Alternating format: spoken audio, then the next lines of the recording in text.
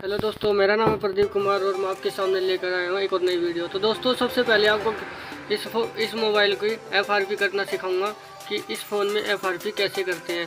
तो दोस्तों, सबसे पहले आपको क्या करना है कि ये देख लो दोस्तों, the device was recharge to continue with sign. तो आपको सबसे पहले क्या करना है दोस्तों, ये बैक आ जाना है। बैक आने के बाद में आपको वाईफाई से कनेक्ट कर लेना है। अगर आपके पास सिम है सिम नहीं है तो भी कोई बात नहीं, अगर सिम है तो तो और भी बढ़िया बात है। तो दोस्तों, आपको सबसे पहले करना क्या है यहाँ पे एक वाईफाई से इसको कनेक्ट कर लेना है। वाईफाई से कनेक्ट करने के बाद में आपको जैसे मैं इसको वाईफाई से कनेक्ट कर लेता हूँ।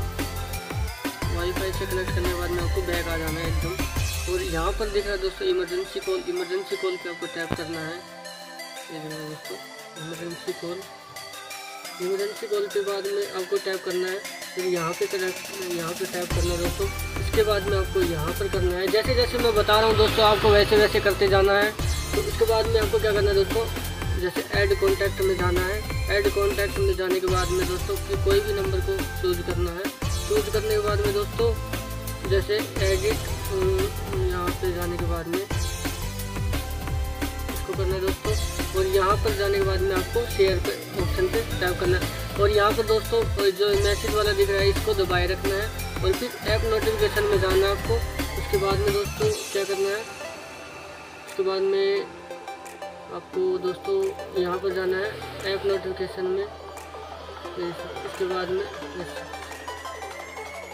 ऐप नोटिफिकेशन के बाद में दोस्तों एस एम एस ऐप पे एस एम एस ऐप के पास जाने के बाद में यहाँ पे ओपनिंग लिंक्स पे जाना है दोस्तों। उसके बाद में यूट्यूब ग्रुप पे जाना है।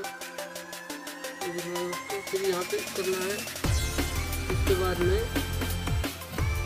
App notification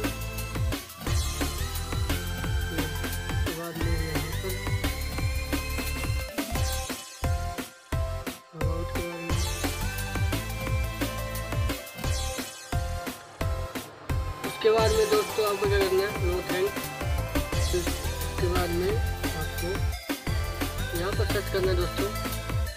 F R P bypass F R P by यहाँ पर उसके बाद में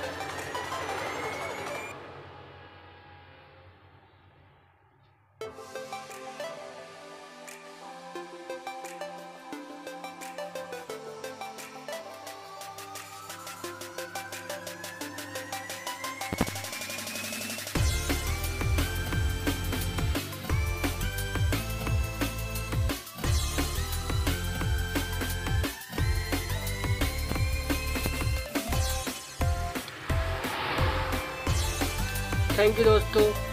आपको जैसे जैसे बताए वैसे वैसे फॉलो करते जाइए आपका काम हो जाएगा। थैंक यू दोस्तों।